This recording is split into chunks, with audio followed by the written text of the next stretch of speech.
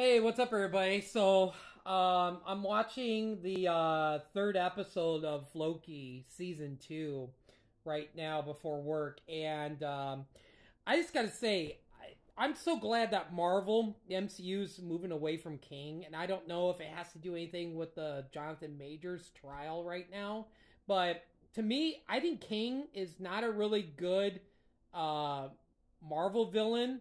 I don't even think Jonathan Majors is that great of an actor. Like the build up for Kang has been terrible. Uh, you don't know like his powers, his whole reason for everything. I mean, he got beat by Ant Man, so it's like it's stupid. They're, I'm just glad they're moving away.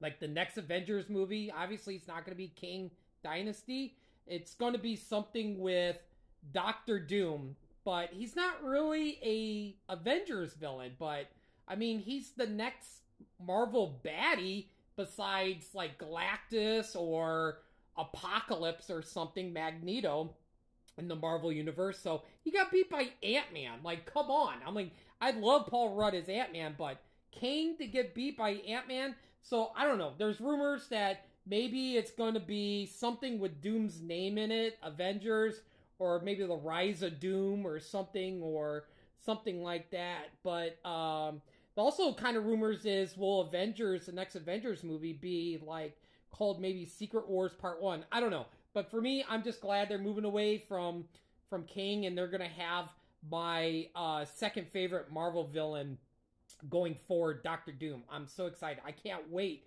to hear the uh, Fantastic Four casting news, who they're going to get for Doom and Sue Storm and Johnny Storm and the Thing and everything. So it's going to be great. There's rumors going around that Javier Bardem might be casted as Galactus, and I'm like, oh crap. But like I said in my previous video, I feel like that's just going way too big in the first Fantastic Four movie, like like including Galactus. Uh, you know, I feel like you should build him up, like do Doctor Doom and arrest him, or um, uh, get him into the movie, and then tease Silver Surfer and do Galactus. So I don't know. We'll see what happens here moving forward to maybe this weekend or early next week uh, on the Fantastic Four cast. Uh, but uh, everything, a lot of people saying that the Fantastic Four cast is casted, so I guess we'll wait and see.